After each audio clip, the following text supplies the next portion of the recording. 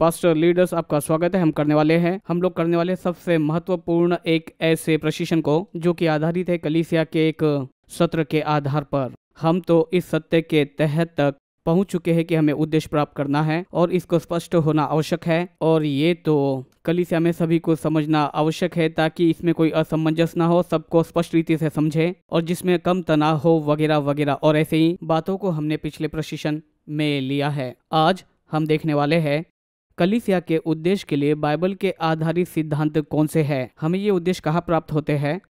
वचन में से और कैसे हम इसके लिए सुनिश्चित हो सकते हैं और सिखा सकते हैं? इस रीति से कि हम जाने कि ये बाइबल के आधार पर है। ये बहुत ही महत्वपूर्ण है। क्यों? क्योंकि बाइबल बाइबलीय उद्देश्य ये परिवर्तित किए जा सकते हैं। बाइबल बाइबलीय सिद्धांत ये परिवर्तित किए जा सकते हैं। और इस अंतराल की सभी बातें जैसे कि संस्कृति या, या फिर समय का बदलाव या फिर ऐसे ही जीवन की कमियाँ परंतु बाइबलीय उद्देश्य ये हमेशा ये सभी प्रकार के समय या सभी बातों को ले लेते हैं, जिसमें भाषाएँ और संस्कृतियाँ भी शामिल है। ठीक है? तो आइए इसकी ओर चले। हम लोग पाते हैं पाँच उद्देश्यों को दो वचनों में से, महान आज्ञा और मुख्य आज्ञा। महान आज्ञा और मुख्य आज्ञा। अगर आप अपने नोट्स को मेरे साथ देखें, मुख्य आज्ञा ये कहती है मती अध्याय बाईस में से, तू प्रभु अपने परमेश्वर से तू प्रभु अपने परमेश्वर से अपने सारे मन, सारे प्राण और सारी बुद्धि से प्रेम रखना। यीशु ये किसी को बता रहा था ये सबसे मुख्य आज्ञा है और दूसरी यह आज्ञा है, अपने पड़ोसी को अपने समान प्रेम रख।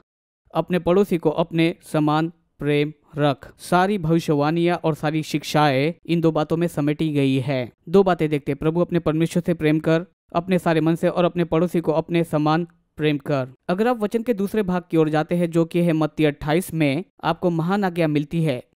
महान आज्ञा ये कहती है, जाओ। ये स्वर्गारोहण के पहले की बात है। यीशु कहते हैं वो अपने चेलों से ये कहता है कि तुम जाओ और चेले बनाओ। जबकि तुम संसार में जाते हो, चेले बनाओ। पिता, पुत्र, पवित्र आत्मा के नाम से तुम उन्हें बपतिस्मा दो और जो कुछ भी मैंने तुम्हें आज्ञा मानना सिखाया उन्हें भी तुम सिखाओ। तो आपको जाकर चेले बनाना है, उन्हें बपतिस्मा देना है और उन्हें शिक्षा देना है। तो आइए हम इसकी ओर बढ़े और इन्हीं उद्देश्यों के द्वारा आप सीखते हैं मुख्य दो प्रश्नों के उत्तरों को। कलिसिया क्या करने के लिए बुलाई गई है और कलिसिया क्या बनने के लिए बुलाई गई है? कलिसिया क्या करने के लिए बुलाई गई है और कलिसिया क्या बनने के लिए बुलाई गई है? आइए आरंभ करें। कलिसिया के लिए पाँच उद्देश्य। पहली बात, तू प्रभु अपने परमेश्वर से सारे मन से प्रेम कर, आप इसे लिख लीजिए। ये आराधना है।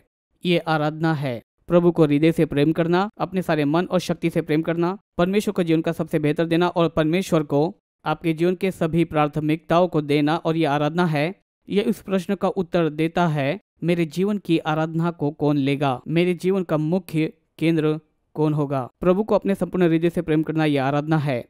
और दूसरी बात यह है, सेवकाई, कृपया इसे लिख लीजिए, अपने पड़ोसी को अपने समान प्रेम कर, यही सेवकाई है। अपने पड़ोसी की सेवा किए बगैर आप उनसे प्रेम को नहीं कर सकते हैं। सेवा किए बगैर आप प्रेम को प्रकट नहीं कर सकते। यीशु ने कहा, मनुष्य का पुत्र इसलिए नहीं आया कि उसकी सेवा टहल की जाए, लेकिन वो आप ही सेवा करे और अपने जीवन को वो दे दे। और उसने कहा, प्रेरितों को अपने चेलों को जब वो उनके पैरों को धो रहा था, उसने कहा, अगर तुम मेरा हिस्सा बनना चाहते हो, जो मैं करता हूँ, तुम्हें वो करना होगा। प्रभु होकर भी, तुम्हारा स्वामी होकर भी, तुम्हारे पैरों को धोता हूँ तो तुम्हें भी एक दूसरे के पैरों को धोना है। और दूसरों के भी। सेवकाई और सेवा, ये तो एक उद्देश्य है जो प्रभु ने एक व्यक्ति और कलिसिया को दिया है। तो हमने आराधना देखी और सेवकाई को देखा है वचन के पहले भाग से और वचन के दूसरे भाग से, जो कि एक महान आज्ञा है। आपके पास सुसमाचार है।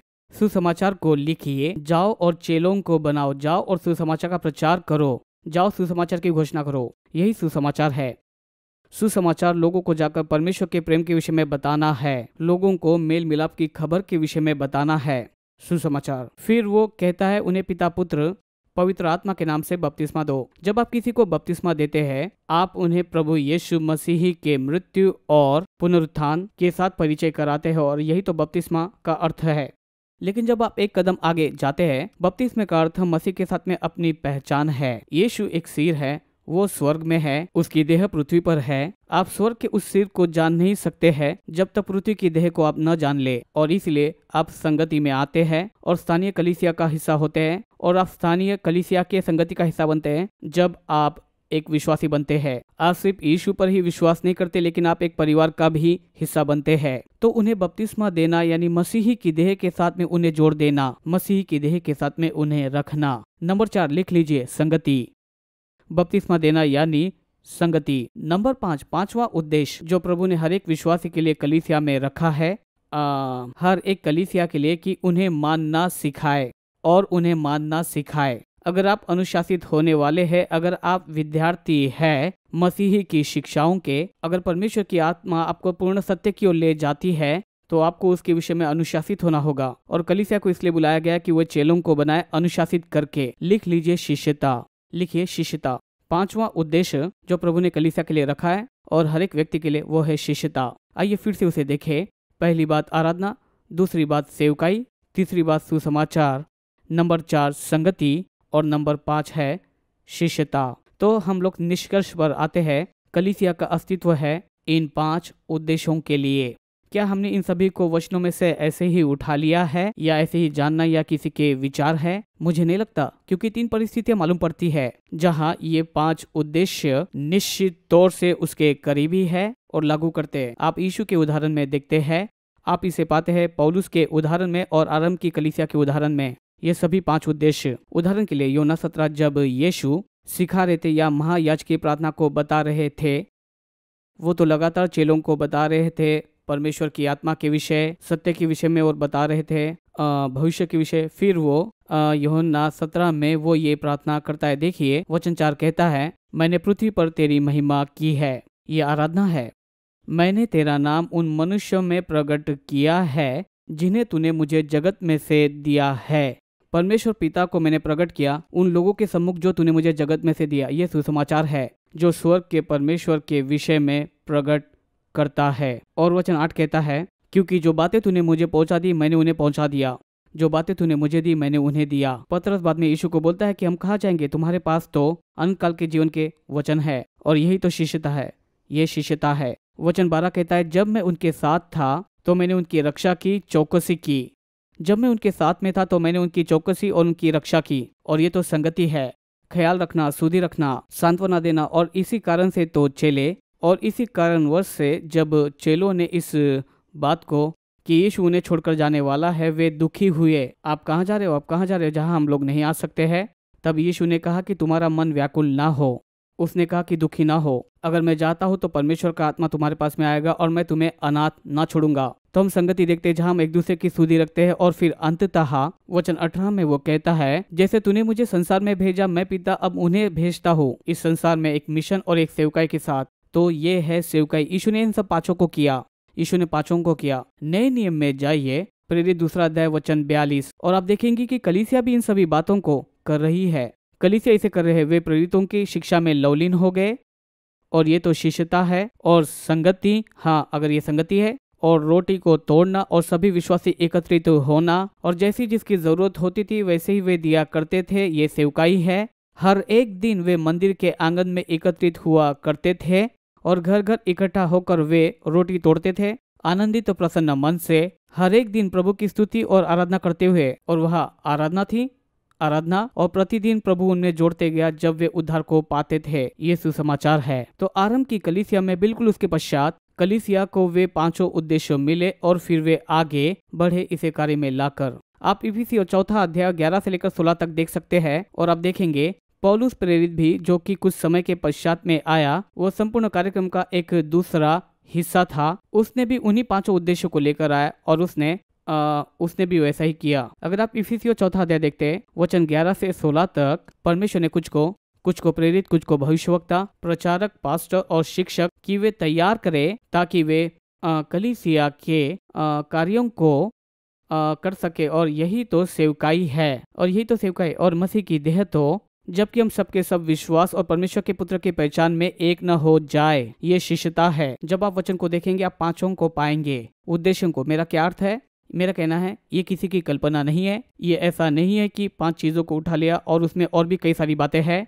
आप प्रतिबद्ध रीति से और निरंतर रीति से इन पाँचों को देखने पाओगे, इन वचनों में।